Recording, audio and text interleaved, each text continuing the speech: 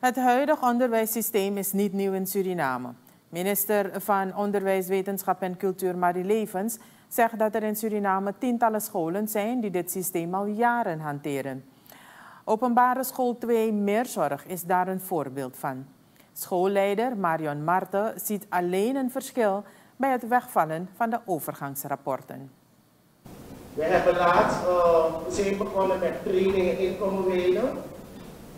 De trainers zijn daar ook gekomen en de hele school zei het aan ze van, we kennen dit al. Dus het is geen nieuw ding. Ik denk dat mensen gewoon een beetje bang zijn voor die vernieuwing. Iedereen houdt van vernieuwingen. Dus dan krijg je dit. Maar uh, ik weet zeker dat het goed is en we hebben het altijd omarmd, omdat wij weten dat wij al zo werken. Wat we moeten hebben, is dat wij niet te grote klassen moeten hebben. En dat heeft de minister ook al gezegd. Wij hebben ook die grote klassen.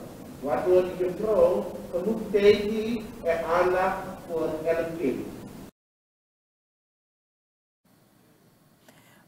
Geeft ook te kennen dat de school de vernieuwing niet angstig heeft ervaren.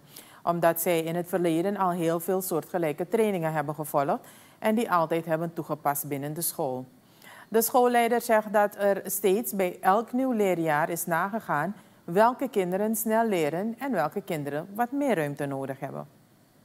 Wat doen wij? We gaan dus een lijst op met wie ons hulp. Wanneer we dat gedaan hebben, dan gaan we dan differentiëren. Dat wil zeggen, we gaan dus aangepast werk hebben voor elk kind, of elk niveau wat we hebben geconstateerd in de klas. En wanneer we dat gedaan hebben, we gaan dus dan ook nog uh, individueel helpen. En geloof u me, als de school zo werkt, haal je dus zeker 100% terug. Wat wij moeten doen, we moeten geduld hebben voor de kinderen. We moeten de kinderen motiveren en aangeven dat ze het wel kunnen. Want vaak genoeg wordt er gezegd aan het kind, dat kind kan het niet, maar dat kind kan het wel. Ja? En wanneer we zo werken, gelooft u me, het, het lukt helemaal.